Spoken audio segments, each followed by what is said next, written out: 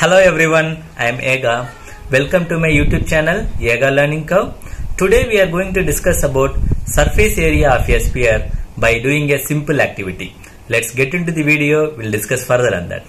In this video, we are going to visualize or going to understand surface area of a sphere is exactly equal to 4 times of circle's area with the same radius r.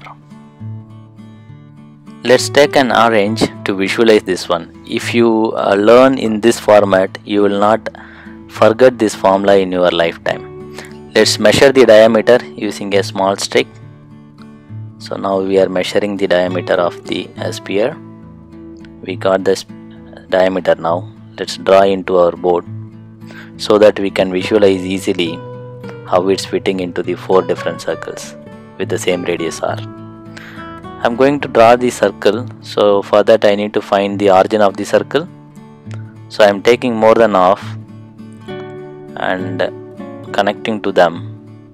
Let's connect properly so that we can find the origin of the circle.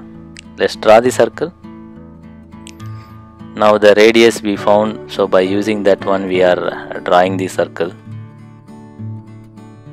Draw all different four circles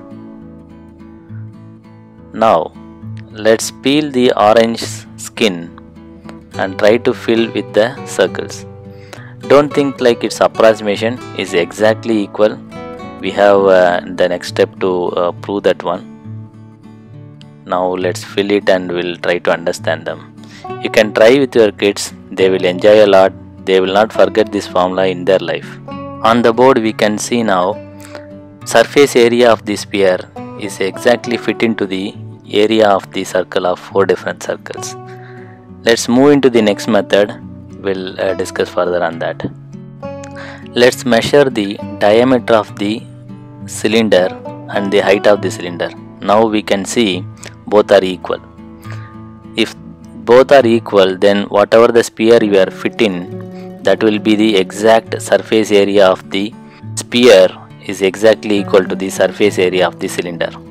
Let's cut the part we can understand. Now height of the cylinder is 2r and the length of the rectangle is exactly equal to the circumference of the circle. That is 2 pi r. Now to find the area of the rectangle that is length into L into breadth B. Our L is 2 pi r and breadth is 2 times of radius 2r. 2 into 2 4 pi r into r r square. That's it 4 pi r square. Now I am going to say another property. Let's draw the circle.